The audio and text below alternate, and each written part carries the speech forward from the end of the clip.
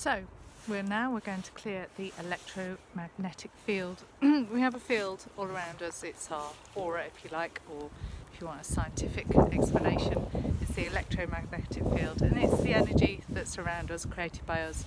As we go through our day, we pick up things, energies, um, and it's a good idea to shake these off.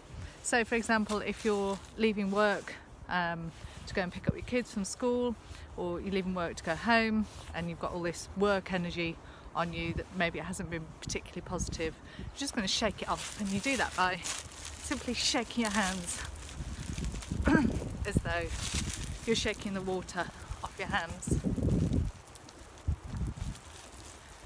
Keep shaking, close your eyes if you want to. Imagine all the dirt and dust that your clothes have picked up throughout the day. You're just shaking that off.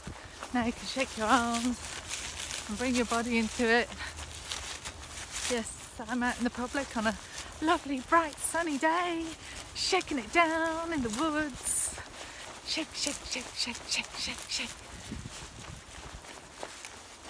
Shake, shake, shake, shake, shake. Get rid of it all. And when you're feeling cleansed, better, your energy's changed, you can stop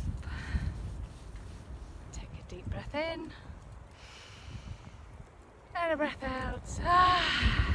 Again, deep breath in, raise your arms, breath out. Ah.